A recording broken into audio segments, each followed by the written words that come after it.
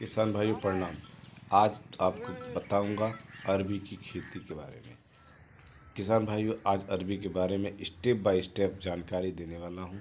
आप वीडियो को अंत तक अवश्य देखें।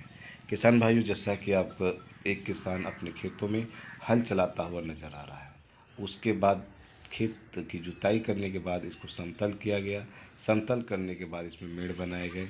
मेढ़ों में सिंचाई कर दी गई। सिंचाई करने के बाद मिट्टी फूल जाने के बाद इस तरह का मेड़ बनाया गया। उसके बाद मेड़ बनाने के बाद जब यह मेड़ सूख गया दो दिनों के बाद, उसके बाद बीच बीच में छोटा छोटा गड्ढा खोद दिया जाता है।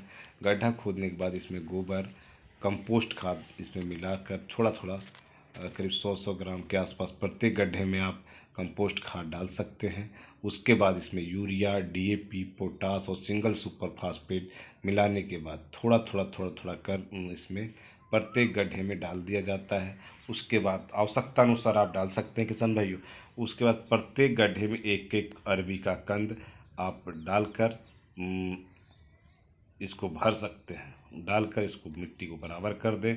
मिट्टी को बराबर करने के बाद किसान भाइयों, इसमें सिंचाई कर दें। सिंचाई करने के बाद किसान भाइयों, आप देखेंगे कि आपके खेत में पंद्रह से बीस दिनों के बाद इसमें फ़सल कंद प्रत्येक कंद निकल आएँगे और इसमें सिंचाई करते रहें। सिंचाई करने के बाद इसमें खरपतवार खरपतवार नष्ट कर दें या कबाड़ दें।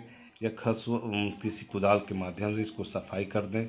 खरपतवार निकालने के बाद इसमें आप किसान भाई आप यूरिया देकर इसकी सिंचाई भी कर सकते हैं। सिंचाई करने के बाद, करीब डेढ़ महीने बाद इसमें मिट्टी की गुड़ाई करके इसमें मिट्टी चढ़ाया जा सकता है। किस, किसान भाइयों, मेरे वीडियो को अंत तक देखने के लिए धन्यवाद।